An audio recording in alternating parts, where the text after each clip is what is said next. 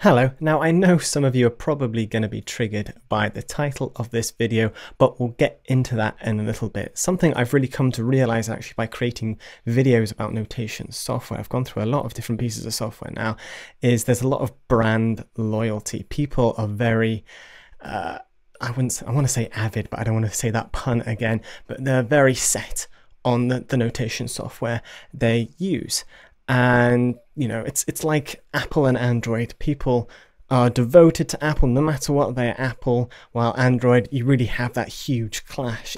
Anyway, I'm digressing. Why have I titled this video Sibelius, uh, the industry standard? Well, firstly because I feel, at least where I am and through my journey in writing music, Sibelius has always been there in the background no matter what when I first started using it and that was probably about 15 years ago now uh, back in school they had I think it was Sibelius 5 or 4 I can't remember now uh, that I was trained on my first ever compositions was done using Sibelius and then as I progressed through that to my A levels, again, I continued to use Sibelius. When I went on to do a degree, uh, I moved from England to Wales.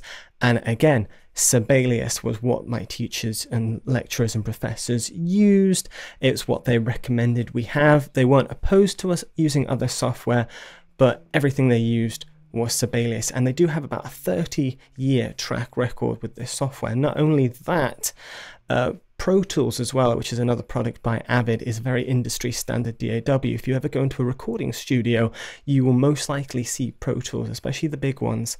Uh, that is what they use, and I'm not the only composer saying, especially if you're going into the industry of mock-ups and film and media, and you want to record, having a, fam- a familiarity with Pro Tools is almost essential. And Another reason for that as well is Media Composer, which is an editing software. And the jobs I have done, the professional broadcast jobs, people edit using Media Composer and Pro Tools work side by side with Media Composer. So when I've been doing exports and stuff and working on the audio side and music side, having Pro Tools and using it is really essential and having just that ecosystem is I guess what I'm trying to get at here. I know this video is about Sibelius, but I'm trying to zoom out and look at the bigger picture as well and kind of explain why I've really titled this and feel that Sibelius is an industry standard. Even when I teach as well, Sibelius is kind of the format people send it in. Yeah, MuseScore MuseScore as well as another one I see a lot. Um, but other ones, especially nowadays, I really feel are coming up to par, uh, especially with me moving now over to Dorico.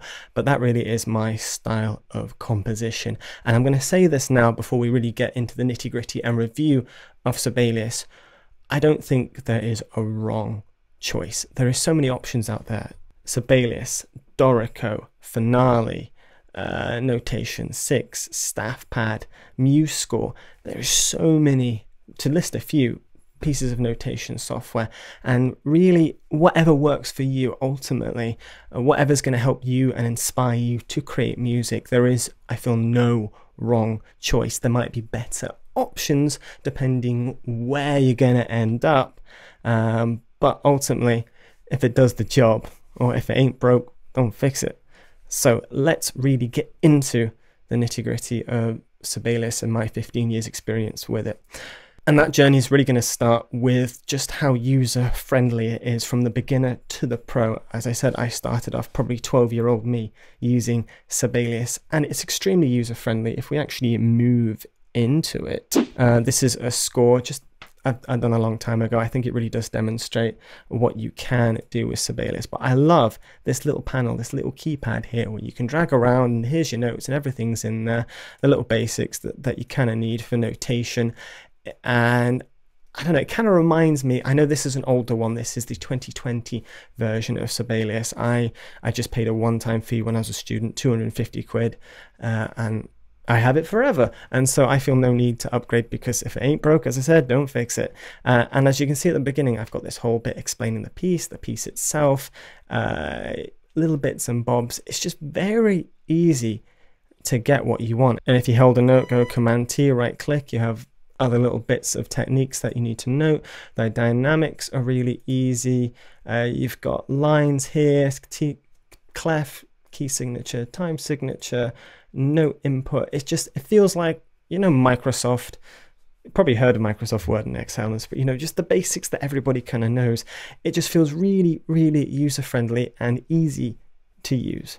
And there's a couple of other really nice features like you can retrograde stuff, invert, double. So you can really go from this basic to complex.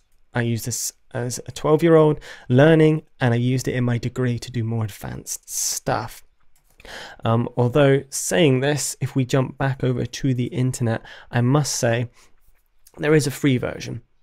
There is an artist version which you can have up to six instruments, 16 instruments, sorry. Sibelius first, I know that they really should put it here. You can only have up to four, which I really don't like. I know it's free, but having four instruments is so limiting, especially when a competitor like Dorico, you can use up to eight in the free version. So it's a little bit like, hmm, you could do with a couple more. And I'm sure it used to be more than four actually i'm trying to think i don't even think they had a free one a long time ago and you can have a free trial on like the ultimate and the ultimate uh, it is pricey so a perpetual license is 519 uh, outright uh, if you're getting it without any discounts. I think with the student discount, you get about 50% off. As I said, when I got mine, it was about the £250 mark, which is not bad. And if you're coming over from other softwares like Dorico Notion 6 Finale, there's discounts. Uh, and I think the other companies do vice versa. If you own Sibelius or want to go over to a different software, um, they do discounts for cheating on your old notation software, which is hilarious. There you go, £259 for a perpetual educational license. You can get it while you're a student, own it forever, and cost you 50%, which is really, really, really cool. Um, but subsequently, after your plan, you don't get updates as well, uh, which is why mine's completely out of date, but it still works. But even with older versions like myself, what I do like about something that Sibelius does do, if we go to the actual file, and if we want to export something, there's plenty of options. There's video. I hate using video with Sibelius. That's definitely a con with this. You can do PDF. You can do Music XML if you're trying to transfer it between different softwares, MIDI and previous version. I feel this is extremely important um, because like when I'm teaching, if people have a newer version, they just need to export a previous version and I can open it up. Uh, the same when I was in university, a lot of the lecturers had probably Sibelius 7 or Sibelius 6, and you know they told us export a previous version. So even within the ecosystem, it's really nice. There's also manuscript paper as well. Um, but a lot of features I feel that you get with the ultimate, they don't include with like first. For example, I think looping, you can't do that. Uh, and guitar tabs as well with like Sibelius First and Artist aren't really as good and you don't have as much options for notation um, as you do with the Ultimate uh, really which I feel really should be included in lower versions. If you really want the full breakdown um, they do actually give you a really nice uh, breakdown on the comparison uh, here Oh, and there's also a, a, mobile version which you can use on like an iPad or something.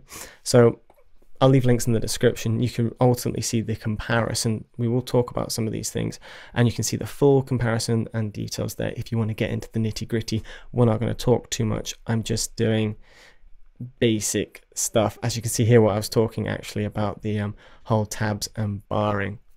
Uh, and speaking of which, with the way the bars and staffing and actually setting up your score, Sibelius, out of all the softwares I've used, I feel is almost the easiest.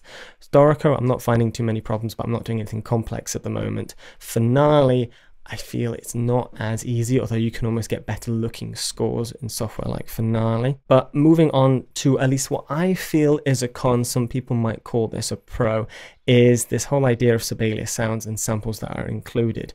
Now, with the free version, you're only getting general MIDI on the mobile 900 megabytes, while with the Pro 36 gigabytes. That's a lot.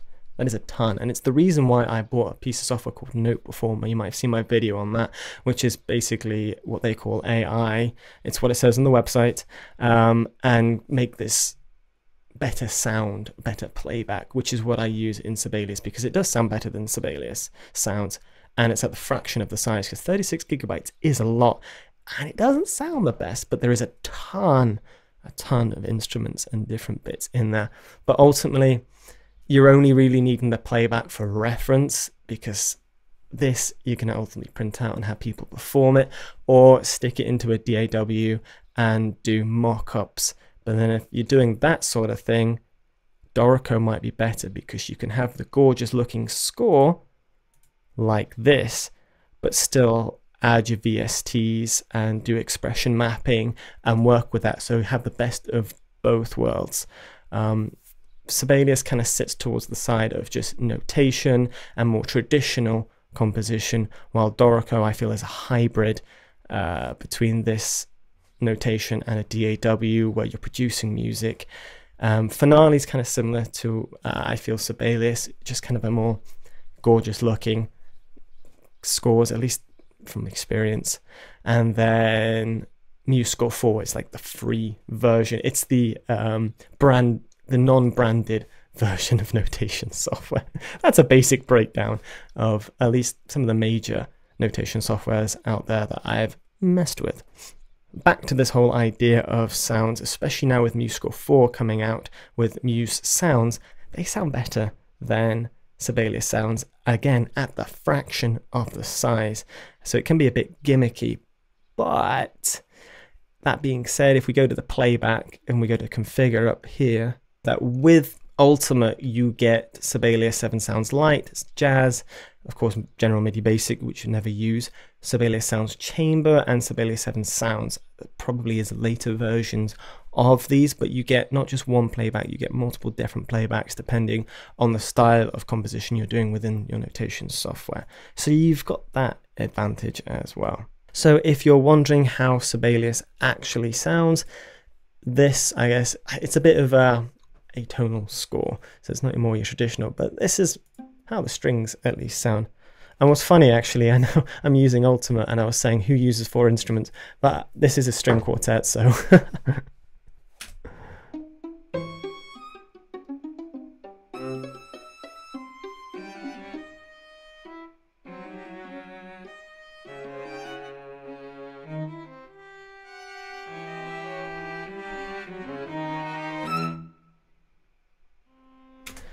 So that's a little flavour of at least what and how Sibelius sounds sounds like. But overall, if I was to summarise Sibelius, uh, and if there's if there's any part of the video you're going to watch, it's this bit.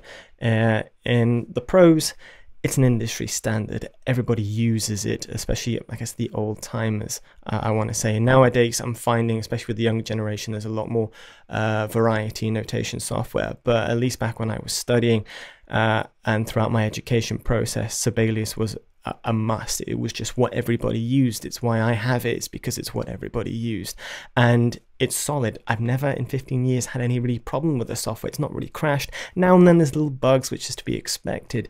Uh, secondly, just user friendly from beginner to end.